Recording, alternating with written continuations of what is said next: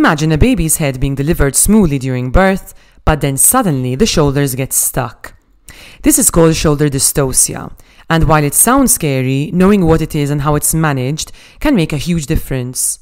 Today we're breaking it down in simple terms. From this image we can see that the problem is usually caused by impaction of the anterior shoulder against the maternal symphysis. Remember that this is a bony impaction. Shoulder dystocia is unpredictable, but some factors increase the chances. First up, we have the pre-labor risk factors, including patients who had a previous shoulder dystocia, macrosomia, diabetes, a BMI greater or equal to 30, and induction of labor. Maternal diabetes is the most important risk factor to look out for. It increases the risk of shoulder dystocia by 2 to 4 times as much. Therefore, well controlled diabetes in pregnancy is vital. Intrapartum risk factors include a prolonged first stage of labor, secondary arrest, a prolonged second stage of labor, oxytocin use, and an instrumental delivery. Having said that, shoulder dystocia can still happen even when no risk factors are present. Now, how do we recognize shoulder dystocia? There are four telltale signs that allow us to recognize shoulder dystocia during delivery of the head. The first is a difficult delivery of the face and chin. The next is the turtleneck sign, which refers to the head remaining tightly applied to the vulva or even retracting, bobbing in and out just like a turtle's head. Another sign is failure of restitution. Restitution refers to the normal turning of the baby's head by 90 degrees once delivered to assist the delivery of the shoulders. Lastly, you would notice a failure of the shoulders to descend. So if you see these signs, the obstetric team should be on the alert for a possible shoulder dystocia. Now, probably the most important part, the management. Shoulder dystocia is one of the most serious obstetric emergencies. We've got an acronym called HELPERR to help all healthcare professionals act fast and remember all the steps. Let's break it down. So H is for help. Managing shoulder dystocia is a team effort. We need to assertively state this is a shoulder dystocia for everyone in the room to be aware of what we are dealing with. Like we said, this is an obstetric emergency and we need all hands on deck. E. Evaluate for episiotomy. An episiotomy should be considered to give more space for internal maneuvers. But remember, this is a bony obstruction, so an episiotomy is not going to help to directly free the shoulder. L. Legs, McRoberts maneuver. And P. Suprapubic pressure. So the first maneuver is the McRoberts maneuver. It works 90% of the time. It involves flexing and abducting the mother's legs. Ideally, have two individuals holding either leg. It helps increase the anteroposterior diameter of the pelvis to free the baby's shoulders.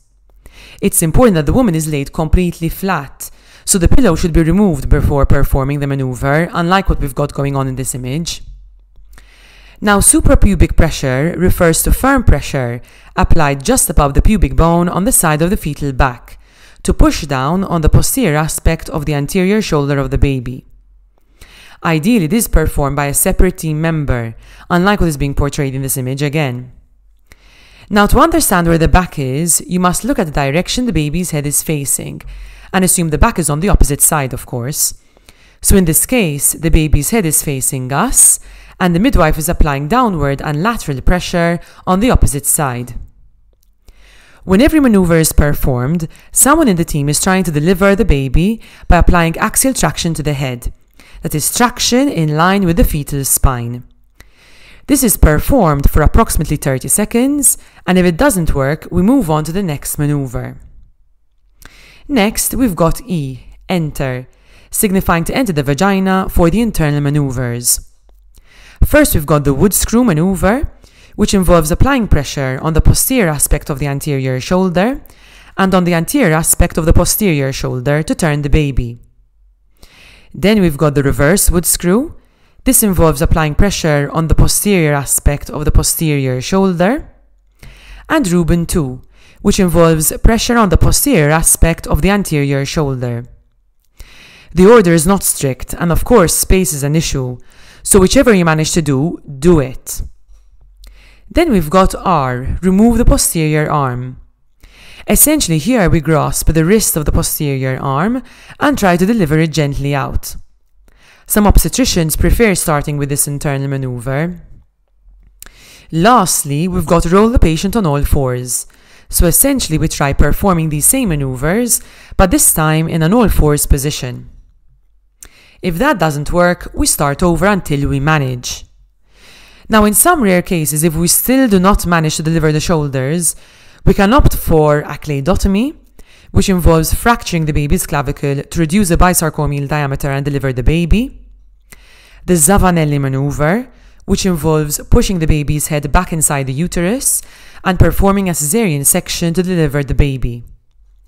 Or else a symphysiotomy, dividing mater the maternal symphysis pubis to allow for more space.